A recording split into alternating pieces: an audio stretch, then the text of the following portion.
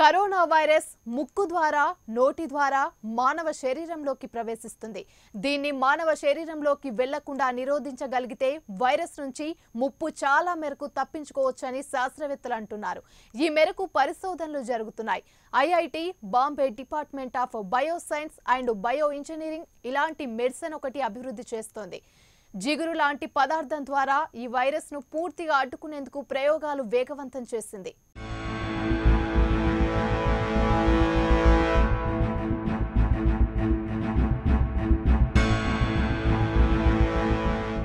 Corona వైరస్ను అడ్డుకునేందుకు ఎవరికి తోచిన ప్రయత్నాలు వారు చేస్తున్నారు. ఈ వ్యాధిని పారదోలేందుకు శాస్త్రవేత్తలు ఓవైపు వ్యాక్సిన్ను కనుగొని యత్నాలు చేస్తుంటే వైరస్ మనిషి శరీరంలోకి వెళ్ళకుండా ముక్కు వద్దే దాన్ని అడ్డుకునేలా చేసేందుకు మరికొందరు ప్రయోగాలు సాగిస్తున్నారు. కరోనా వైరస్ మనిషి శరీరంలోకి వెళ్ళకుండా ముక్కు వద్దే నిర్వీర్యం చేసేలా సరికొత్త జిగురు మందును IIT Bombay department of biosciences and bio engineering అభివృద్ధి చేస్తోంది.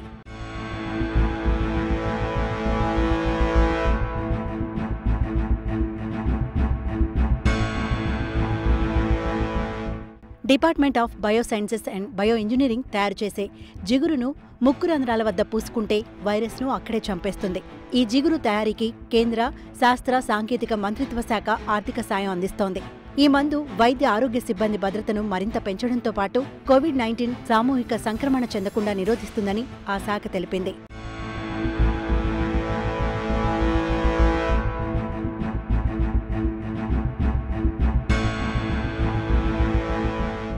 వైరస్లు ఊపిరితిత్తుల్లోకి చేరకుండా నిరోధించడం తమ తొలి వ్యూహమని department of biosciences and bio engineering చెప్తోంది.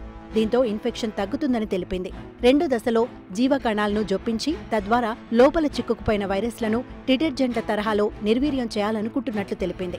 ఈ సందర్భంగా department of science and technology కార్యదర్శి అశుతోష్ కుమార్ మాట్లాడుతూ కోవిడ్ నైన్టీన్ పై పోరాడుతున్న మన వైద్య సిబ్బంది రక్షణను ఐఐటి బాంబే రూపొందిస్తున్న జిగురు మరింత స్థైర్యాన్ని పెంచుతుందని తెలిపారు.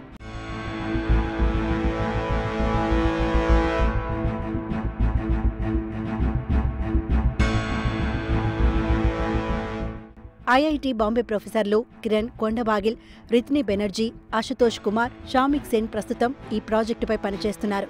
ఈ కొత్త సాంకేతిక పరిజ్ఞానాన్ని తొమ్మిది నెలల్లో అందుబాటులోకి తేనున్నట్లు కేంద్ర శాస్త్ర సాంకేతిక శాఖ తెలిపింది. దీనిపై ఇప్పుడు పూర్తిస్థాయి దృష్టి సారిస్తున్నట్లు వివరించింది.